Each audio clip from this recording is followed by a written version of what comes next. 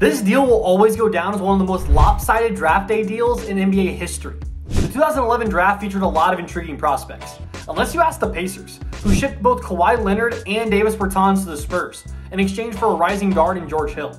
Now, while the Pacers did manage to give LeBron and the Heat all they could handle in the playoffs with George Hill as their floor general, they never made it over the hump. Meanwhile, a young Kawhi did it with a team of aging stars. Just imagine if this duo teamed up from the start of their careers.